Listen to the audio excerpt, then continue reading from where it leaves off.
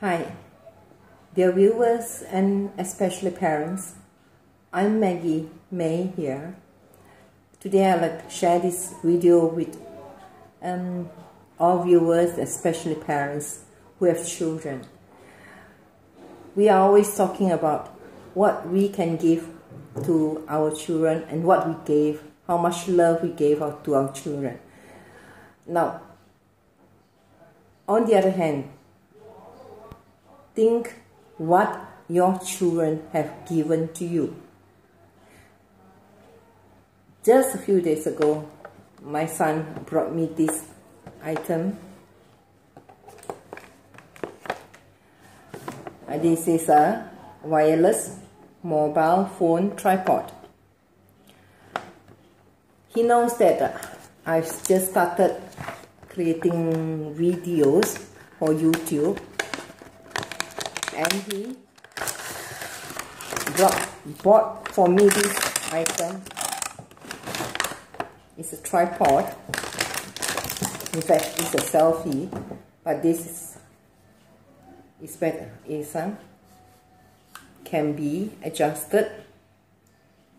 Comes with the handphone holder to be screwed to the top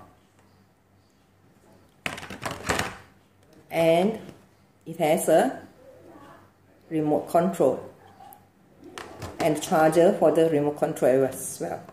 The best feature of this tripod is that at the base of it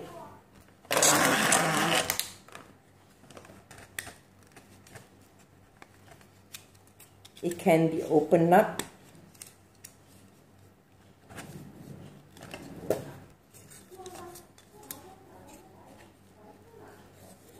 so that it can stand on any surface.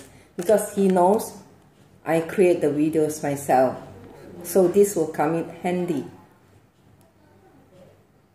Now this may cost only RM 28 dollars as you may have noticed. It's very cheap. But I do consider this a very huge, a very big gift from my son. Thinking that, no, he really cares and he knows what I need. I'm very happy that now I know that it's not only me that give love and care to my children, to my sons, my, my son also loved me, showing me, in giving me you know, small express expresses and you know, gestures that I seem to have overlooked all this while. So for all parents, whenever your children bring home something for you or do something special for you,